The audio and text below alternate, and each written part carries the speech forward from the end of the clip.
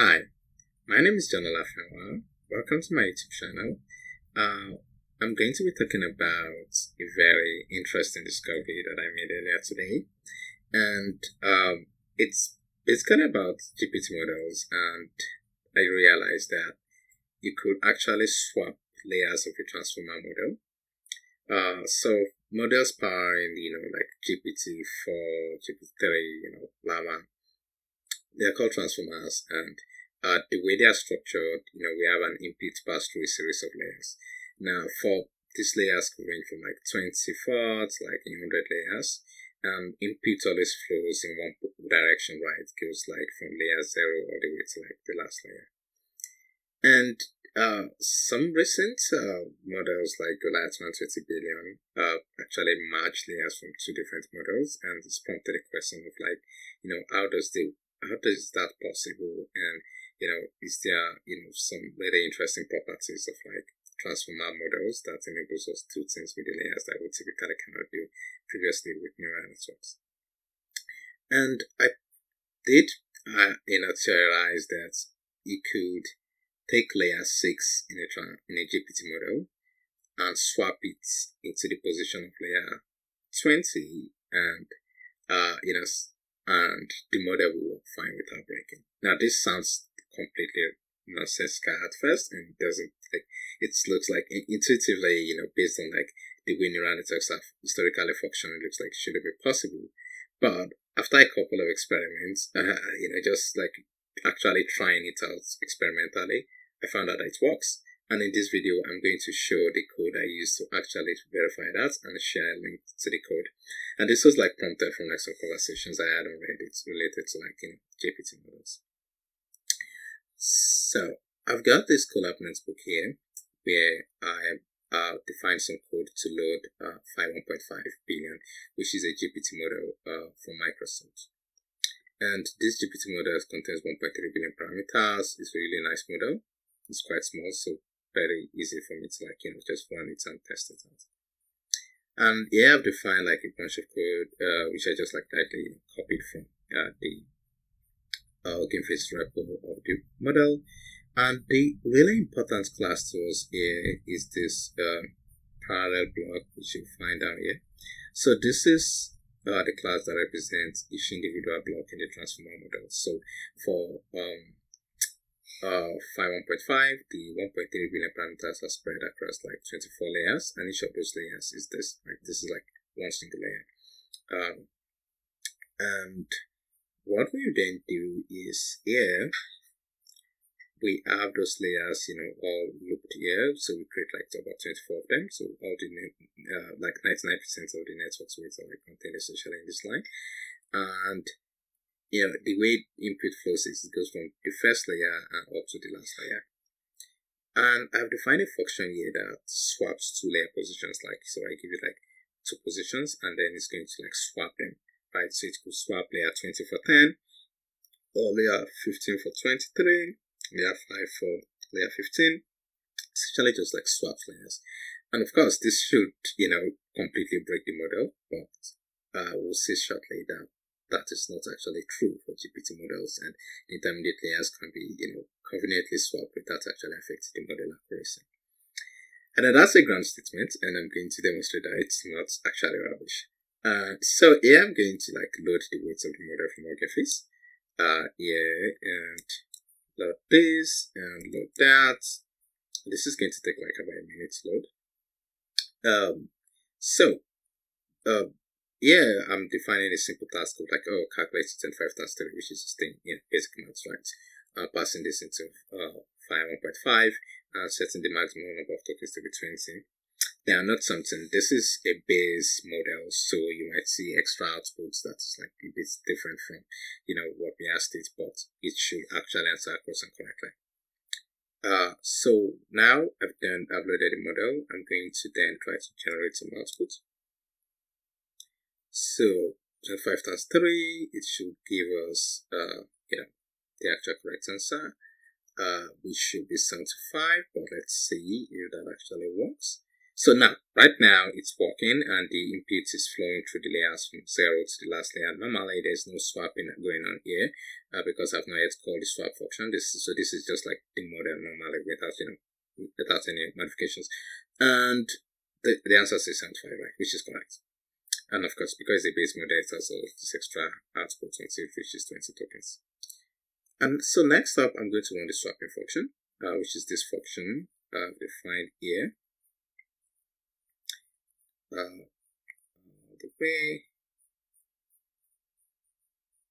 probably have passed it. Yeah I have passed it. Uh, yeah this swap function right which just swaps to the version so when I run the swap function it swaps layer I'm swapping layer, layer 6 and 18 together which are really further apart layers so this should you know in, well, in practice, completely break the model. So I'm going to then run exactly that point and see, you know, the normal expectation is that the output of this should be complete nonsense. It shouldn't make sense. But um, we'll see shortly, you know, how this actually behaves for a GPT model. And this should take like, you know, a couple of seconds. So moment of truth. Loading.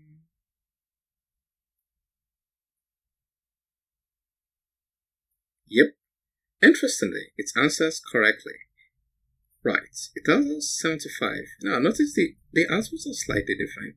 This is like 75, and that's also partly because, like, you know, temperature is 0.3, so it's not zero, so, like, you know, it's not, uh, like, temperature is higher number.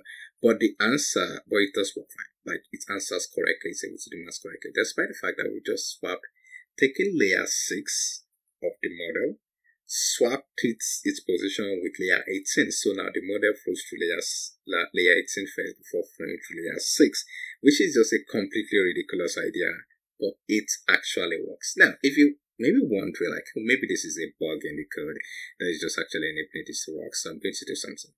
I'm going to reload this model so that you know, it loads the you know uh, layers in their default uh, order without any swapping and I'm then going to try something that is, you know, uh, like taking the first layer and swapping the last layer.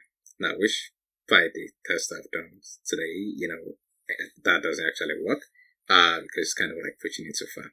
So I'm going to take layer zero and layer, layer 23, which is the last layer. I'm going to swap those and then I'm going to run this and when I run that, let's see if that actually gives us a correct answer or if it gives us nonsense, which is, you know, what we typically expect uh, for, you know, swapping any two layers in a neural network. Um, and this should be done soon.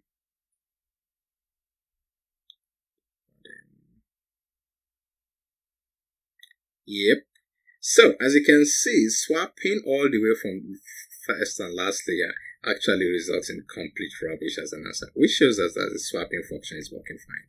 Uh, so it's not like there's something, it's not like the swapping function is a no op, so therefore, you know, that's why it's working, but it's actually working fine. You to close this, I'm going to do one more test, reload the model again back to its default state and actually try out like another, you know, two positions just to show that, you know, it's not those two positions I've just like specified. Uh, and I'm going to share this notebook uh, in the comment section of the video so you could go ahead, try this yourself, modify it, play around with it, and hopefully discover something that I might have even completely missed, maybe some really new surprises just like this. Um, and I think it's really amazing, uh, these properties of like transformer models. Yeah, let me swap position uh, 12 and position 18, which are kind of closer, but still two completely different layers. So if I run this, yeah, let's see, I'm like swapping the first and last position. This, you know, should work fine, given just the fact that swapping, you know, layer 6 and like, you know, layer 21 or whatever we tried the other time actually worked. So these are two different positions again I'm trying out, which, you know, uh, this works only because transformer layers, you know, identical structure and then uh, although their weights are different, but somehow that doesn't affect the fact that you know the, the way the input flows through uh, yeah, so yeah, this works fine. Right. So this is really a very interesting discovery and I'm absolutely shocked myself. Uh, the fact that, you know, we could take a, you know, layer 12, swap it for layer 18, which completely changes the, you know, the order in which the input flows through the network. And of course, this still requires a lot more investigation, a lot more research, uh, a paper perhaps on like, you know, how, what this entails and how more, you know, layers function and how input runs through a GPT model. Uh, I'm going to share this notebook uh, you could try to produce it yourself, see all the code, and you know verify that this is actually correct. And I've also uploaded it here to this uh, GitHub uh, repo, which I'm going to share as well. And so yeah, it's uh, super exciting times, and I think GPT models are so exciting because they have whole new properties and new behaviors that before, uh, you know, was just not possible.